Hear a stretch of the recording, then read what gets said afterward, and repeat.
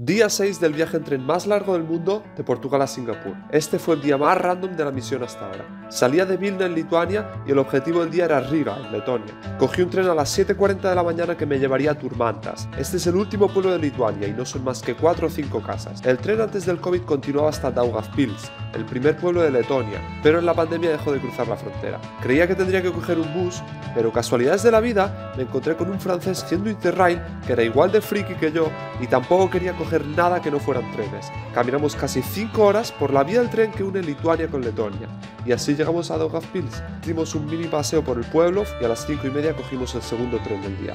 3 horas y media hasta arriba, ahora sí.